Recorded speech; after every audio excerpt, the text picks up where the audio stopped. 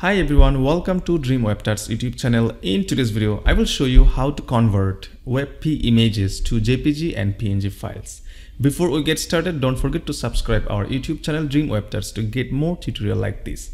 So now in my computer screen, I will try to download and use a WebP image. So if I search for a image which is WebP image, let's say search for home desk. So I will try to download an image which is a home desk. So I have selected the WebP image before the tutorial. This one is the WebP image. So drag let's say drag and drop that file here. And it's now you can see here uh, at the last of the file dot webp webp is the image file.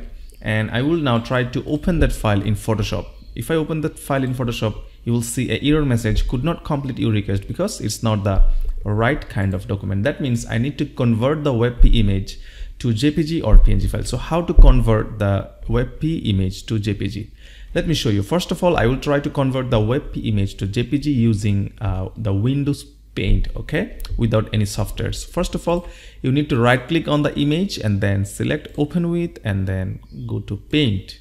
So if you open the image in Paint, you can convert the WebP image uh, to JPG without doing anything. Just open the image and click file and click save as and select the JPG picture. Okay. Or you can see, you can click on save as and here you will see the save as type.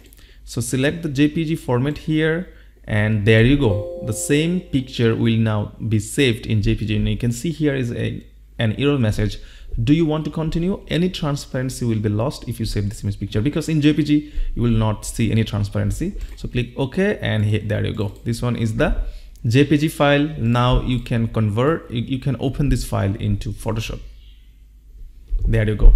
So once again if you want to uh, save the file to png format what do you have to do just click save file and click save as and select png here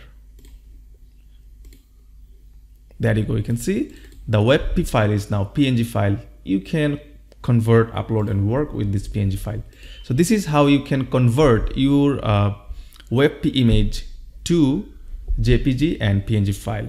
So now let me show you how to convert WebP image to JPG in online. First of all you need to go to a website which is cloudconvert.com which is cloudconvert.com so you can see here is the cloud convert and you need to select the WebP file okay? So you can see here is the WebP file. Click open.